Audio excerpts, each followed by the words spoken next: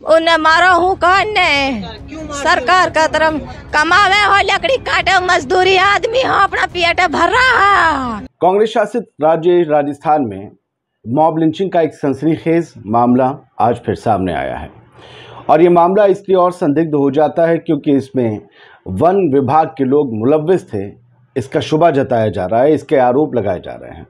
दरअसल तीन लड़के जंगल में लकड़ी काटने के लिए जाते हैं वन विभाग की टीम आती है, वो गाड़ी बिना लकड़ी लिए निकल जाते हैं। और तीनों लड़कों का आरोप है कि 25 तीन में से तो अब दो ही ज़िंदा हैं, एक मर गया। 25 किलोमीटर तक उनकी गाड़ी का पीछा किया जाता है। फिर बाकायदा पूरी प्लानिंग के साथ जेसीबी लगाकर उनका रास्ता रोका जाता है। फिर वन विभाग के लोग गाँव वालों के साथ मिलकर उनके साथ मारपीट करते हैं, वहशियाना तरीके से।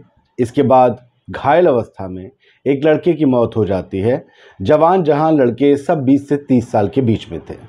दो लोग बुरी तरीके से घायल हैं, उनका इलाज जारी है। अब इस मामले में पुलिस जाँच भी कर रही है, लेकिन लोग ये पूछ रहे हैं कि वन विभाग के लोग भी तो कानून के मुहाफ़ होते हैं, सरकारी अमला होते हैं। उन सबको पता होता है कि कानून को निभाना कैसे है, उसका पालन कैसे करना है। उन सबको पता होता है कि अगर कोई अपराध कर भी दे तो पुलिस को उसके हवाले करना होता है पुलिस उसको अदालत में पेश करती है, अदालत उसको सज़ा सुनाती है, उसको जेल जाना है या बेल मिलना है, वो सब अदालत तय करती है, ना वन विभाग तय करता है, ना कोई पुलिस तय करती है और ना ही कोई भीड़ तय कर सकती है। लेकिन ये हुआ है, राजस्थान में। तीन मुस्लिम लड़कों की पिटाई ज़बरदस्त तरीके से की गई, एक की मौत हो गई। नवगठित कोटपुतली बहरोड ज़िले में मॉब लिंचिंग का ये मामला सामने आया है। हेडलाइंस यही कहती हैं। अगर हम एनडीटीवी को देखें तो वो लिखते हैं, अलवर में मॉब लिंचिंग, तीन लकड़ी कारोबारियों को घेर कर पीटा, एक की मौत। लकड़ी का कारोबार करने वाले तीन युवकों को अलवर में कुछ लोगों ने घेर कर बेरहमी से पीता, पीटा। इस घटना में एक युवक की मौत हो गई। युवक ने के परिजनों ने वन कर्मियों पर हत्या का आरोप लगाया है। पत्रकार मित्र वसीम अकरम त्यागी ने भी लिखा, राजस्थान के अलवर से मॉब लिंचिंग का नया मामला सामने आया है। अलवर के बांसूर में लकड़ी काटने आए तीन मुस्लिम युवकों को एक दर्जन से ज़्यादा लोगों की भीड़ ने पिटाई की। भीड़ ने एक युवक की पीट पीट कर हत्या कर दी। दो अन्य मुस्लिम युवक घायल हो गए। जानकारी के मुताबिक फॉरेस्ट कर्मियों की गाड़ी में भरकर आठ दस से ज़्यादा लोग आए। ग्रामीणों ने जेसीबी लगाकर रोका मारपीट की। अलवर के हरसोरा थाने में ये मामला दर्ज किया गया है। और इन लड़कों की अगर उम्र देखें तो अशरफ हुसैन के इस आर्टिकल को देख लें वो कहते हैं कि ये बताते हैं कि पूरा मामला कोटपुतली बहरोड का है, उधर जबकि अलवर का ज़िक्र था। तो खैर, वह, वहाँ अभी नए नए ज़िले बने हैं तो थोड़ी गफलतें हैं, लेकिन मामला सही है, एनडीटीवी की हेडलाइन हमने आपको दिखाई थी। हेडलाइन इसलिए दिखाते हैं ताकि बहुत से लोग, हेलो फैंस हाय गाइस करके जो है आए वाएँ शाएँ करके यूट्यूब पर निकल जाते हैं। अशरफ लिखते हैं कि ये गुरुवार रात तीन युवक वसीम 27 साल, उसके चाचा का लड़का आसिफ 22 साल और अजरुद्दीन 20 साल पेड़ों की कटाई करने के लिए रामपुर गाँव की ओर आए थे।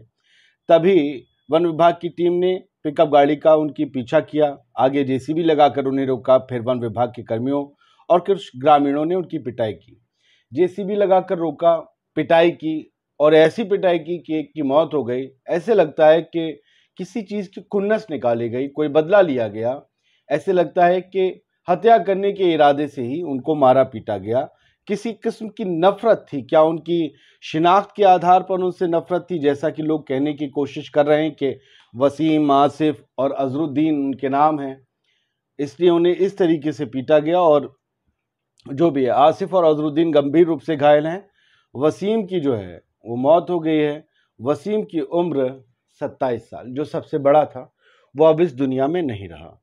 तो फ़िलहाल ये सारी हकीकत है जो आपके सामने है, कहीं किसी की भी सरकार हो, ऐसे लोग जो मॉब लिंचिंग करने में माहिर हो चुके हैं, उन्होंने कहीं भी अपराध कर डालना है।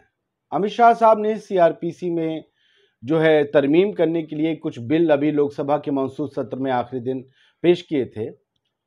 उनके तहत अब मॉब लिंचिंग के मामले में भी फांसी की सज़ा होगी। अभी वो बिल कानून नहीं बने हैं, एक्ट नहीं बने हैं, लेकिन चूँकि बिल पेश हो चुके हैं, क्या जब वो कानून का रूप ले लेंगे, इनकी सज़ा उस कानून के तहत होगी या मौजूदा कानून के तहत होगी? ये तो कानून की जानकार बताएँगे, फ़िलहाल मौजूदा के तहत होगी, मुझे लगता है।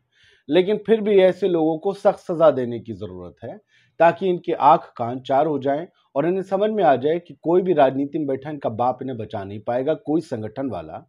इन्हें बचा नहीं पाएगा। इंसानी जान की कीमत अपनी जान देकर चुकानी पड़ेगी। अगर ये सब नहीं होता है तो फिर ये जो कुरीति बन गई है मॉब लिंचिंग की, इसे रोक पाना बड़ा मुश्किल हो